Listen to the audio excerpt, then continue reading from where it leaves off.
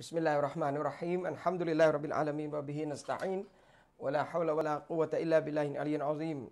وصلى الله على نبينا محمد وعلى آله وصحبه وسلم أما بعد السلام عليكم ورحمة الله وبركاته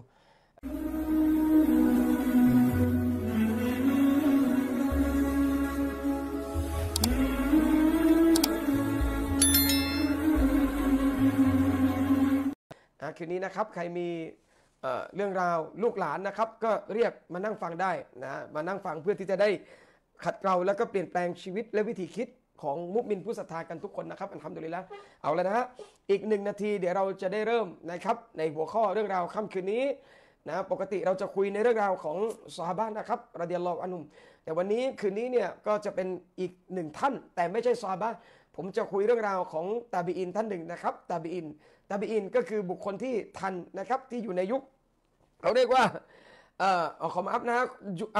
ทันยังทันอยู่นะในยุคที่เรียกว่าทันกับบรรดาซอฮาบัตนะครับนะอิบราฮิมบินอัดฮัมคือหนึ่งในท่านนั้นนะครับإن شاء اللهนะอยู่ในยุค 300 ปีแรก หรือเราเรียกกันเป็นที่รู้จักกันนะในนามالسلف الصالحนะครับท่านอิบราฮิมบินอัดฮัมคือหนึ่งในคนที่อยู่ในยุค 300 ปีแรกที่ท่านนบีสุลต่านอะลัยวะสัลลัมได้รับรองเอาไว้นะครับท่านอิบราฮิมบินอาดัมนะครับรอฮิมะฮุลลอฮ์ เอาแล้วนะฮะขอบคุณพี่น้องทุกท่านเราจะขออนุญาตเริ่มกันเลยนะเริ่มกันเลยนะครับ หลังจากที่เราได้หยุดไป 2 อาทิตย์กว่าๆนะครับ เดินทางไปกรุงเทพมหานครด้วยแล้ววันนี้ได้กลับมาแล้วนะก็จะได้ปฏิบัติภารกิจกันต่อไปอินชาอัลลอฮ์นะครับ บอกแล้วนะวันจันทร์วันพุธรายการถ้าไม่ติดอุซดหรือไม่มีธุรกิจธุรกิจไม่มีภารกิจหรือไม่มีธุระใดๆเราก็จะบรรยายให้ฟังแบบนี้นะครับอันนั้นดุลิละ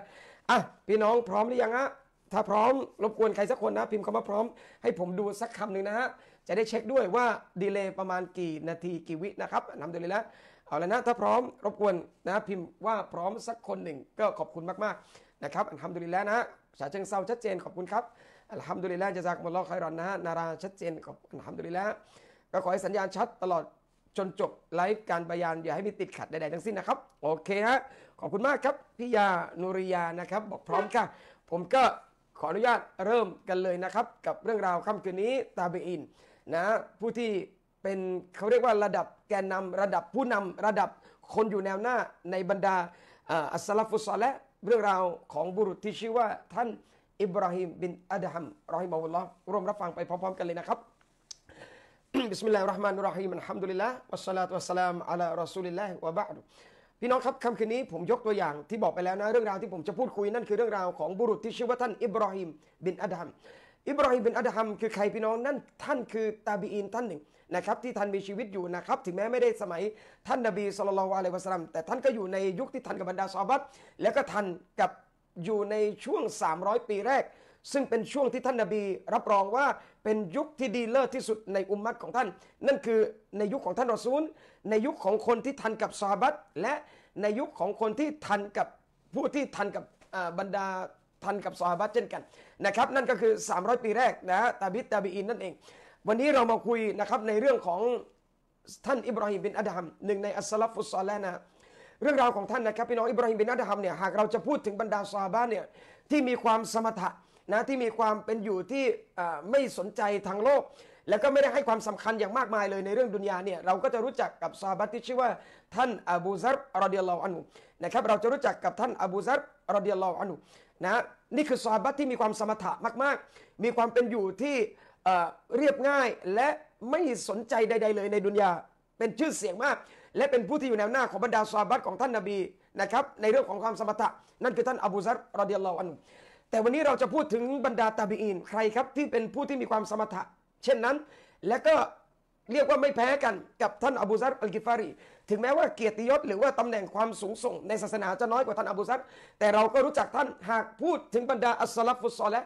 ผู้ที่มีความสมถะเป็นอันดับต้นๆทุกคนจะนึกถึงชื่อ ท่านอิบราฮิมบินอัดฮัมرحمه اللهนะครับ ท่านอิบราฮิมบินอัดฮัมرحمه اللهเรารู้จักกันว่าท่านอิบราฮิมบินอัดฮัมเป็นผู้ที่มีความสมถะท่านเป็นซูฟีคนหนึ่ง เวลาเราพูด แต่วันนี้เราจะเข้าใจว่าซูฟีจริง ๆ คืออะไรนะท่านเป็นคนที่สละทางโลกและสละทางโลก ในแบบฉบับของท่านนบีสละแบบไหน วันนี้เราจะได้รับฟังในตัวอย่างของท่าน แต่จะมีกี่คนนะครับที่จะรู้และเข้าใจและทราบมาว่าท่านอิบราฮิมบินอัดฮัมก่อนที่จะมีมามีชีวิตที่สมถะ ก่อนที่จะมามีชีวิตอยู่อย่างเข้าใจโลกดุนยามากขึ้นเนี่ยชีวิตท่านอดีตท่านเป็นยังไง ผมย้อนไปในสมัยตั้งแต่คุณพ่อคุณแม่ของท่านอิบราฮิมเป็นอัดัมนะครับอิบราฮิมเป็นอัดัมมีต้นกำเนิดหรือต้นตระกูลบ้านเกิดเขาเรียกว่าบ้านที่ท่านอยู่อาศัยนะครับ คุณพ่อคุณแม่และอยู่เป็นเขาเรียกว่าเป็นจุดที่ท่านต้นตระกูลท่านเลยก็ว่าได้ นั่นคือที่เมืองบาลักหรือว่าอัฟกานิสถานในปัจจุบันนะโครซานอัฟกานิสถานในปัจจุบันนั่นคือพื้นที่ที่ต้นตระกูลของท่านอิบราฮิมเป็นอัดัมอยู่ที่นั่นนะครับและมีอยู่วันหนึ่งพี่น้องที่รักครับ บิดามารดาของท่านอิบราฮิมบินอัดัมทั้งสองท่าน ได้เดินทางมาที่มักกะอัลมุการรอมาเพื่อประกอบพิธีฮัจญ์นะมาทำฮัจญ์นะครับในขณะที่เดินทางมาเนี่ยพี่น้องปรากฏว่ามารดาของท่านอิบราฮิมบินอัดัมตอนนั้น นางตั้งครรภ์อยู่นะนางตั้งครรภ์แล้วก็นางมาทำฮัจญ์กับสามีในสภาพที่นางกำลังตั้งครรภ์อยู่ เมื่อมาถึงมักกะพี่น้องที่รักครับ ว่ามาตาชาอูนอิลลาอัยชาอัลลอฮ์และสิ่งใดที่เจ้าประสงค์ มันจะสำเร็จไม่ได้นอกจากเป็นสิ่งที่อัลลอฮ์ประสงค์ด้วยเท่านั้น ทั้งหมดเป็นความประสงค์ของอัลลอฮ์อิบราฮิมบินอัดฮัมนะครับแม่พ่อของท่านอยู่ที่บาลักที่อัฟกานิสถาน ตั้งท้องที่นั่นนะครับต้นตระกูลที่นั่น แต่อัลลอฮ์ประสงค์ให้ท่านอิบราฮิมบินอัดฮัมมาเกิดที่มักกะอัลมุการรอมาด้วยกับเหมือนที่ผมได้กล่าวเอาไว้ว่ามารดาของท่านตั้งท้อง และเมื่อถึงเมื่อมาถึงมักกะปรากฏว่านางคลอดลูกออกมานะครับนางคลอดลูกออกมาเนี่ยก็ เรียกว่าท่านอิบราฮิมบินอัดฮัมได้อยู่ในสภาพแวดล้อมได้อยู่ในบรรยากาศของบรรดาผู้รู้นะครับบรรดาในยุคนั้นที่มีสหาบะอยู่ และในยุคนั้นเนี่ยในบรรยากาศสภาพแวดล้อม การตวาบการอิบาดัตบรรยากาศที่เต็มไปด้วยอามันเต็มไปด้วยอิมาน เต็มไปด้วยบรรยากาศแห่งความตักวาท่านอิบราฮิมบินอัดฮัมเกิดที่มักกะอัลมุคารามะนะครับ แล้วก็จนเมื่อหลังจากประกอบพิธีฮัจเสร็จเรียบร้อยนะครับ อิบราฮิมบินอัดฮัมก็กลับไปที่บ้านของท่านกับบิดามารดาของท่าน จริง ๆ แล้วพี่น้องครับท่านอิบราฮิมบินอัดามเป็นคนรวยมากๆ พ่อของท่านเป็นคนรวย แม่ของท่านเป็นคนมีสตังค์เรียกได้ว่าเป็นหนึ่งในบรรดาลูกหลานกษัตริย์ หรือผู้นำในยุคนั้นเลย พื้นฐานครอบครัวของท่านอิบราฮิมบินอัดามไม่ใช่คนจน ไม่ใช่คนจน และไม่ใช่คนรวย แต่เป็นคนรวยสุดๆ ไม่ใช่รวย ฐานะสังคมมีจนพี่น้องปานกลางรวย แต่อิบราฮิมบินอัดามพ่อแม่ของท่านรวยสุดๆรวยมากๆ มีทรัพย์มาก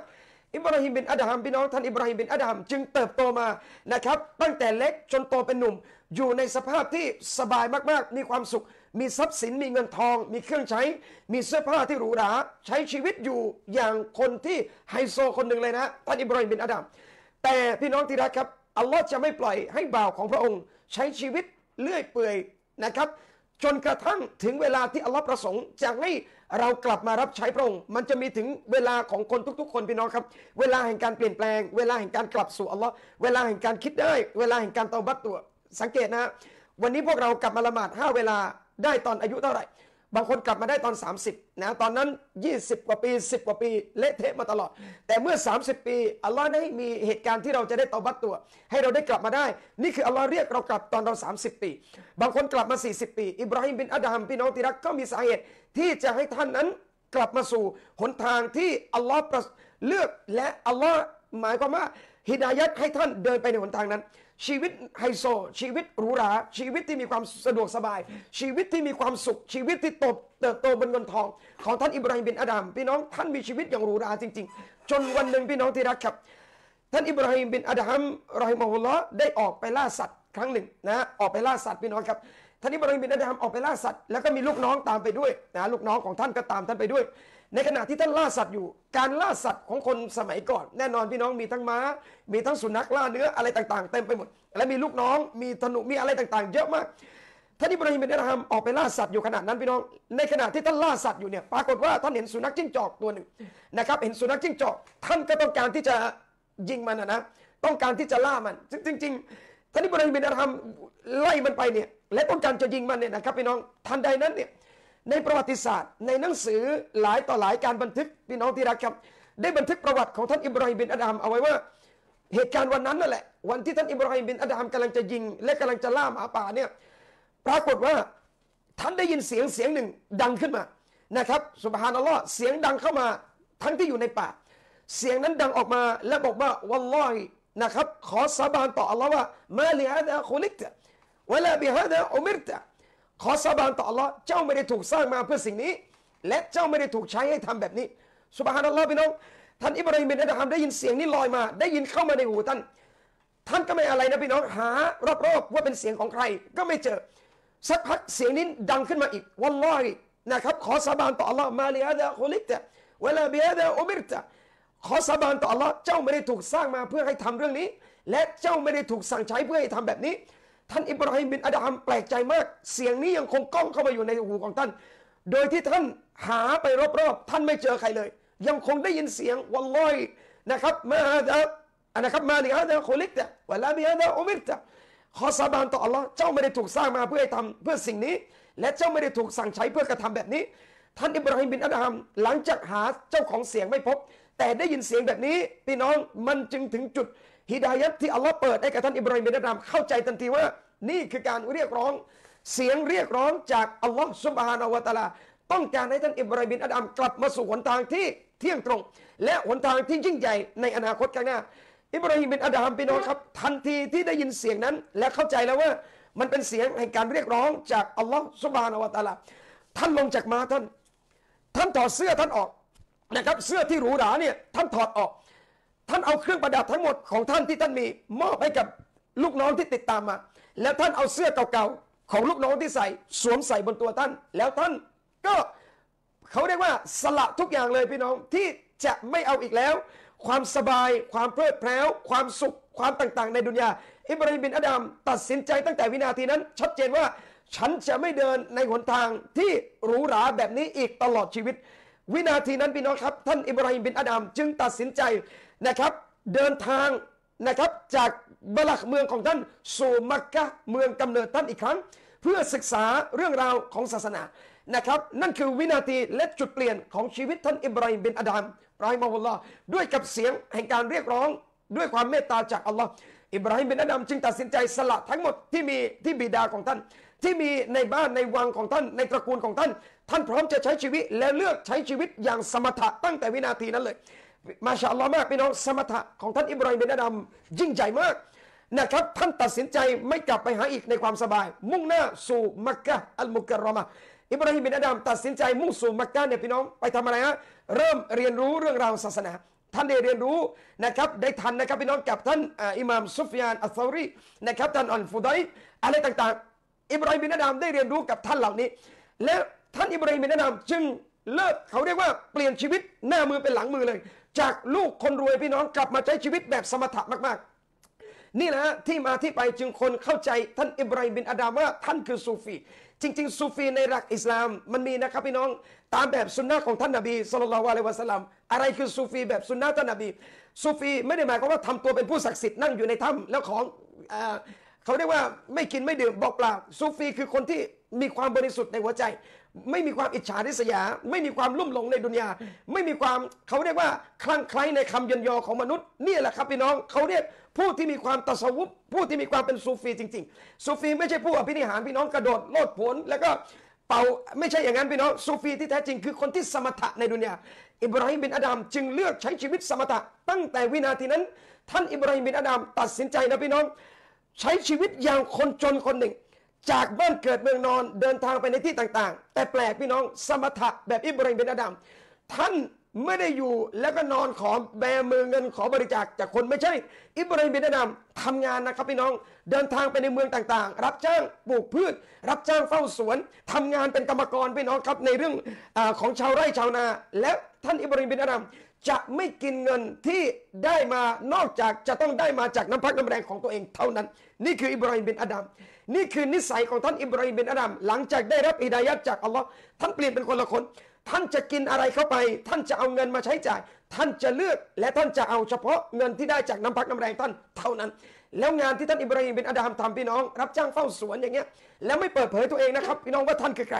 ท่านรับจ้างเฝ้าสวน ท่านรับจ้างปลูกพืชให้คนนะครับ เก็บเกี่ยวพืช แล้วก็ไปอยู่ร่วมกับคนงาน เปลี่ยนชีวิตเป็นคนจนคนหนึ่งเลย อิบราฮิมบินอาดัมพี่น้องกับซีฟัตหรือนิสัยของท่าน ถ้าคนเห็น และเราจะรู้เลยว่านี่คือนิสัย และนี่คือตัวของท่านอิบราฮิมบินอาดัมประวัติศาสตร์บันทึกนะครับพี่น้องในหน้าประวัติศาสตร์บันทึกว่าท่านอิบราฮิมบินอาดัมท่านจะเป็นคนที่เงียบมากๆ ท่านจะเป็นคนที่เงียบ ท่านจะเป็นคนที่มีสายตาที่คิดอะไรตลอดเวลามากๆ พูดน้อยแต่คิดมาก นะท่านเป็นคนพูดน้อยมากๆ แล้วคิดมากๆ นี่คือนิสัยหนึ่งของท่านสองอิบราฮิมบินอาดัมจะกินอะไรก็แล้วแต่ นอกจากจะต้องทำงานหาเงินมาด้วยตัวเองเท่านั้น ท่านจึงจะกินจากเงินนั้นสามเงินที่ได้มาจากค่าแรงที่ท่านได้รับ ท่านไม่ได้เก็บไว้กินคนเดียว ท่านยังแบ่งให้กับเพื่อนฝูง แบ่งให้กับคนยากจน ท่านจึงมีความเป็นผู้ที่มีความเป็นตะสวุบอย่างแท้จริง นี่แหละฮะตะสวุบและท่านเป็นคนที่ บริสุทธิ์จากสิ่งต่างๆเลวไอเขาเรียกว่าความเลวร้ายความชั่วร้ายอะไรต่างๆ บริสุทธิ์มากมายนะครับ แล้วท่านเลือกจะใช้ชีวิตในหนทางยากจน บอกมีอยู่ครั้งหนึ่งพี่น้องครับท่านอิบราฮิมบินอาดามเปลี่ยนชีวิตมาอยู่ในสภาพยากจนแบบนี้เนี่ยถามว่าอะไรเกิดขึ้นสำหรับท่าน แน่นอนพี่น้องฮิกมัตที่ยิ่งใหญ่อัลลอฮ์เปิดให้ทันทีอิบราฮิมบินอาดาม ถึงแม้จะเป็นคนสมถะ ถึงแม้จะเป็นคนที่ไม่ลุ่มหลงในทางโลก ใช้ชีวิตในดุนยากินไปวันๆอยู่ไปวันๆแล้วก็สุดท้ายรอในการกลับสู่อัลลอฮ์ ที่ท่านอิบราฮิมบินอาดามทำแบบนี้เนี่ยนะครับพี่น้องมันสอดคล้องกับฮะดิษของท่านนบีสุลต่านละอัลลอฮฺผมบรรยายให้พี่น้องฟังผมยังละอายตัวเองเลยนะครับพี่น้องเราทำไม่ได้เลย เหมือนกับฮะดิษที่ท่านนบีพูด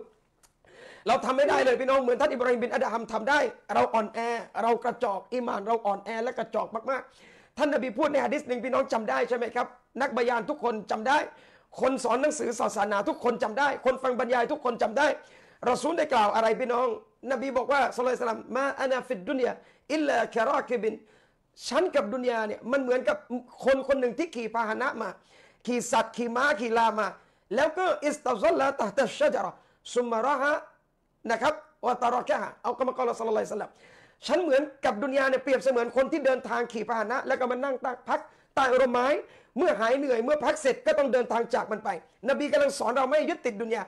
แต่ในขณะเดียวกันวันนี้พี่น้อง เราเอาเป็นเอาตายกับดุนยา เราพยายามที่จะได้ชื่อเสียง เราพยายามทุกอย่างที่จะได้เงินทองที่เราต้องการ โดยไม่สนว่าฮาลานอารอมเราพยายามทุกอย่างพี่น้องที่จะได้ความยิ่งใหญ่และเกียรติยศในดุนยา ในขณะที่ท่านนบีกำลังจะบอกว่า ดุนยาอย่าไปอะไรเยอะ สุดท้ายเจ้าต้องจากมัน เราทำไม่ได้ เราเราจำฮะดิษได้ แต่เราปฏิบัติไม่ได้ แต่ท่านอิบราฮิมบินอัดฮัมพี่น้องที่รักครับ ท่านปฏิบัติแล้วท่านทำให้อุมมะเห็นว่าดุนยาไม่มีค่าจริง ๆ ท่านทำไปวันๆเพื่อเตรียมตัวจะกลับไปหาอัลลอฮ์อิบราฮิมบินอัดฮัมจึงมีชีวิตอยู่ อย่างคนที่เข้าใจดุนยา อะไรคือคนเข้าใจดุนยาพี่น้อง คนเข้าใจดุนยาเขาจะไม่รักดุนยาคนเข้าใจดุนยาเขาจะไม่ต้องการตำแหน่งที่ยิ่งใหญ่ในดุนยาคนเข้าใจดุนยาเขาจะกลัวดุนยาในขณะที่วันนี้เรารักดุนยาเราต้องการตำแหน่งในดุนยาเราต้องการความยิ่งใหญ่ในดุนยาเราต้องการความสบายที่สุดในดุนยาทั้งผมและท่าน นี่คือความอ่อนแอของเราพี่น้องที่รักครับ อิบราฮิมบินอาดามจึงมีชีวิตอยู่แบบนั้น และบางครั้งก็โดนดูถูกจากผู้คน โดยที่คนไม่รู้เลยนะครับว่านี่คือใคร แต่ท่านอิบราฮิมบินอาดามไม่ต้องการที่จะเปิดเผยตัวเองว่าท่านคือลูกใครคืออะไรอย่างนั้น ใช้ชีวิตอย่างอย่างยากจนคนหนึ่งทีเดียว และอาชีพที่ท่านอิบราฮิมบินอาดามชอบในการที่จะทำนะครับพี่น้องนั่นคือชอบในการอยู่กับสวน เฝ้าสวนผลไม้ เฝ้าสวนพี่น้องกับทำไมถึงชอบเฝ้าสวน ท่านอิบราฮิมบินอาดามกล่าวนะครับ บอกว่า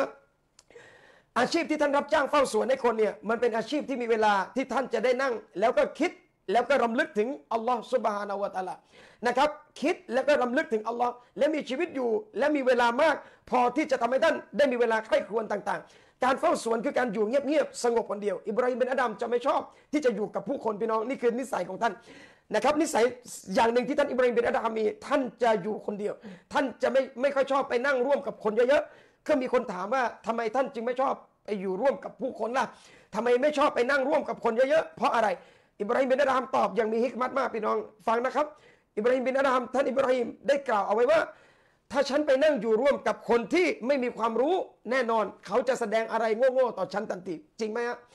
เราสมมุติว่าเราเป็นครูบาอาจารย์เราเป็นผู้ใหญ่ เราไป เล่นกับเด็กมากเกินไปสุดท้ายเด็กเด็กจะเล่นหัวท่าน เด็กจะไม่ให้เกียรติท่าน อิบราฮิมบินอาดามจึงตระหนักตรงนี้ ถ้าฉันไปอยู่กับคนที่เขาที่เขาไม่มีความรู้ที่ขาดความรู้เรื่องมารยาทแน่นอนเขาก็จะแสดงอะไรโง่ๆกับฉัน ฉันจึงไม่ต้องการแบบนั้น และในขณะเดียวกัน ถ้าฉันไปอยู่กับคนที่เหนือกว่าฉันอาเลมกว่าฉัน หรือรวยกว่าฉัน หรือมีอะไรที่ดีกว่าฉัน เขาก็อาจจะแสดงความตะกบดต่อฉันได้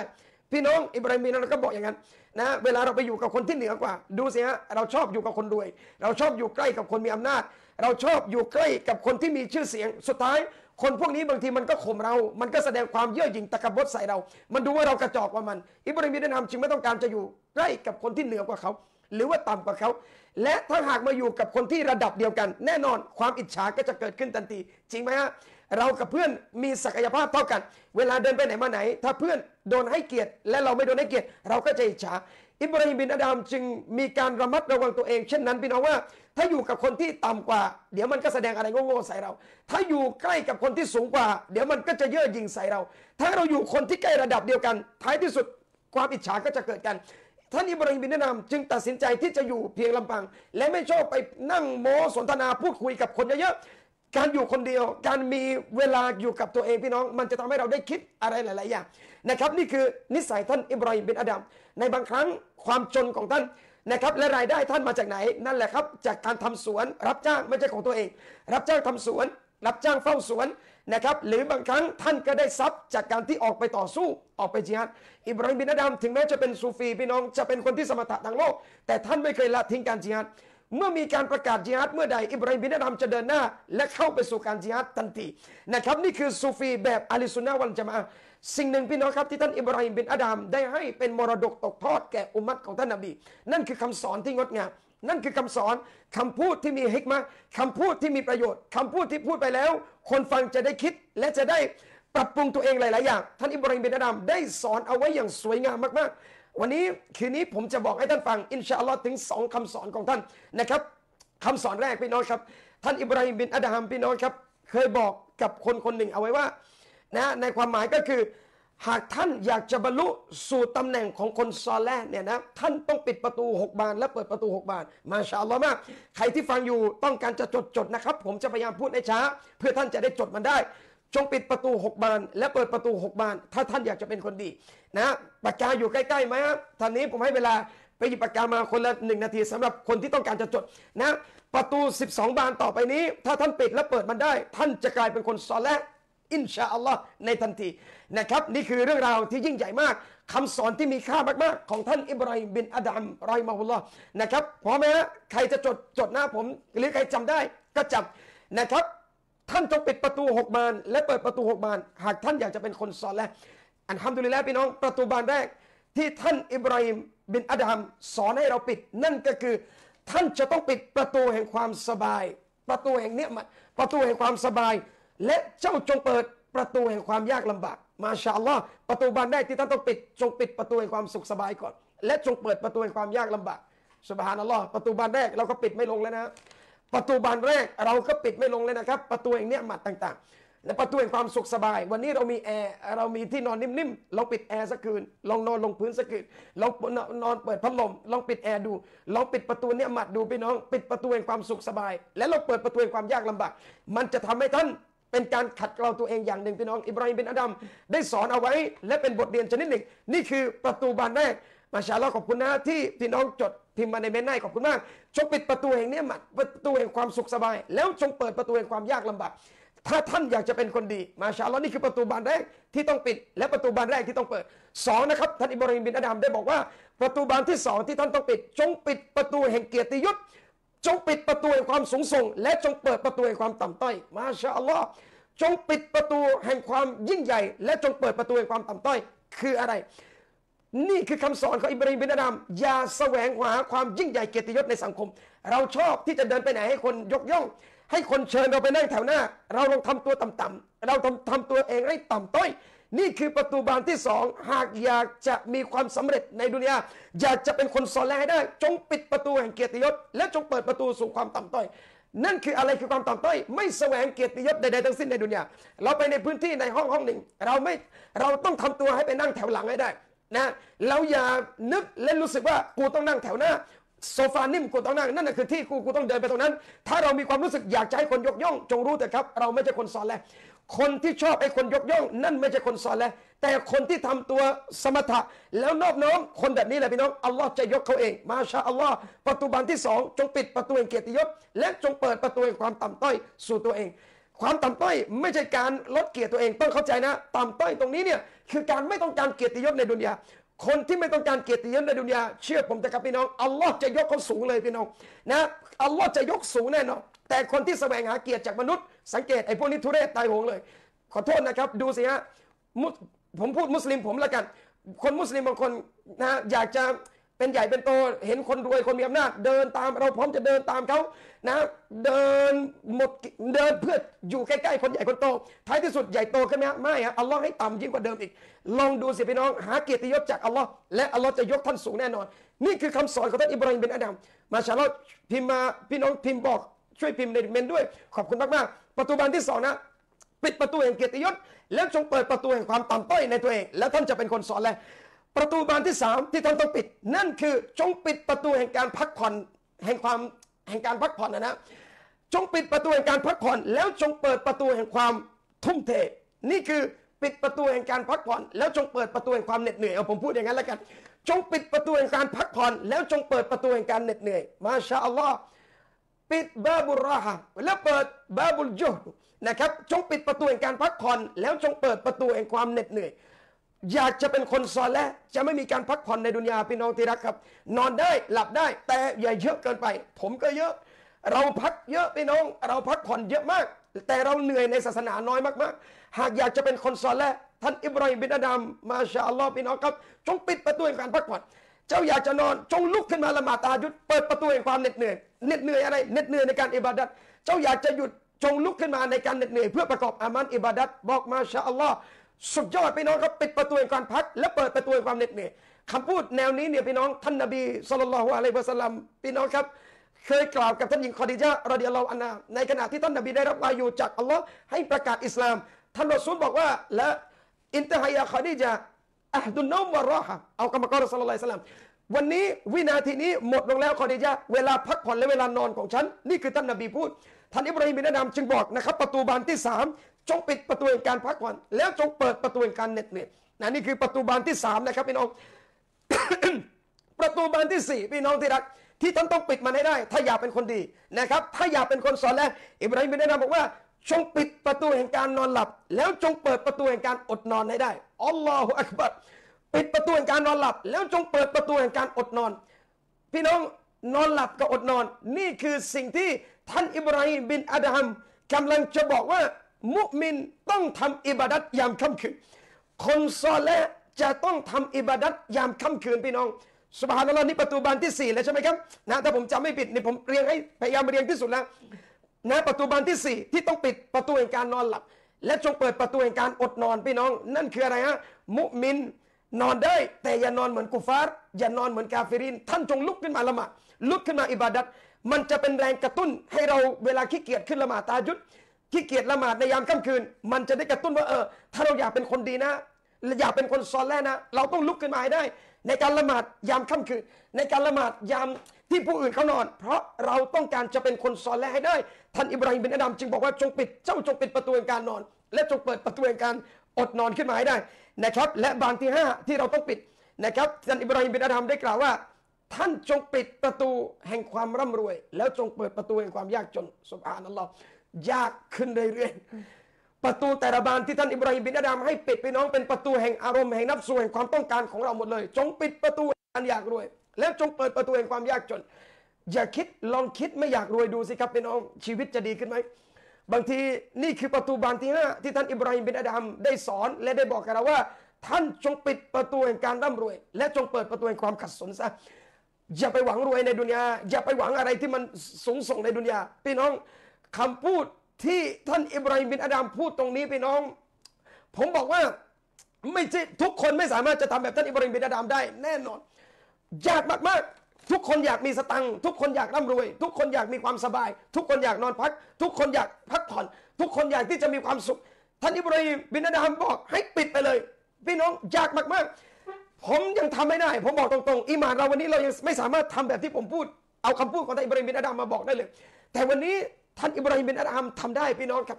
ท่านปิดประตูแห่งความร่ำรวย ท่านทำงานไปวันๆจริง ๆ พี่น้องทำงานได้กินและสุดท้ายก็เตรียมกลับไปสู่อัลลอฮ์สุบฮานาหูวะตะลายากมากๆ นี่คือประตูบานที่ห้าประตูแห่งการอิบาดัตประตูแห่งการไอ้ยกยอสรรเสริญ ประตูแห่งเกียรติยศประตูอะไรต่างๆ ท่านอาจจะปิดมันได้สำหรับบางคน แต่พอปิดประตูความร่ำรวยพี่น้องที่รักครับ บอกตรงๆว่ายากมากๆ ยากมากๆ แต่ไม่ใช่ว่าเราจะทำไม่ได้ วันนี้เนี่ย อยู่แค่เราเองว่าใจเราพร้อมหรือไม่แค่นั้นเอง ไม่ได้หมายความว่าจะไม่ให้ทำงานนะครับพี่น้องแต่อยากให้เราลุ่มหลงในดุนยาอย่าลุ่มหลงในดุนยาเท่านั้นเองทำงานได้ หาริสกีได้ แต่อย่าลุ่มหลงกับมัน อย่าไปคิดว่ากูต้องรวย แค่วันนี้กูได้ทำงาน มีสตังค์มากิน มีสตังค์มาเลี้ยงชีพอัลฮัมดุลิลละไม่ต้องคิดขนาดว่ากูต้องรวยให้ได้ลองปิดประตูนั้นดูพี่น้อง และชีวิตท่านจะดีขึ้น วันนี้ขายของได้ 500 บาท ได้ 50 บาทได้ 100 บาทอัลฮัมดุลิลละอย่างน้อยวันนี้มีกิน แต่ถ้าวันหนึ่งเราคิดว่ากูต้องรวย เราขายได้ 1,000 เราก็ไม่พอใจพี่น้อง เพราะกูต้องรวย ฉะนั้นจงตัดให้กูต้องรวยออกจากชีวิตพี่น้องครับ แล้วท่านจะรู้ทันทีว่าชีวิตเราสบายจริงๆนะนี่คือประตูบานที่ห้านะครับที่ท่านอิบราฮิมบินอัดฮัมได้กล่าวเอาไว้ และประตูบานสุดท้ายที่ท่านอิบราฮิมบินอัดฮัมได้สอนให้เราปิดมันนะครับพี่น้องนั่นประตูบานที่หก ที่ท่านอิบราฮิมบินอัดฮัมสอนให้เราปิดมันนะอิบราฮิมบินอาดัมได้กล่าวว่า ท่านจงปิดประตูแห่งความเพ้อฝัน จงปิดประตูแห่งความฝันหวานทั้งหมดของท่าน แล้วจงเปิดประตูแห่งการเตรียมตัวสู่ความตายยาอัลลอฮ์ปิดประตูแห่งอามัลอัลอามัลุนะไม่ใช่อามันนะอามันนี่คือการเพ้อฝันต่างๆ อะไรคือการฝันของเรา ฉันอยากจะมีบ้าน ฉันอยากจะมีรถ ฉันอยากจะมีเมีย ฉันอยากจะมีนั่น โครงการฉันจะเป็นอย่างนั้นไอ้พวกโครงการต่างๆ ลองตัดออกจากหัวบ้างพี่น้อง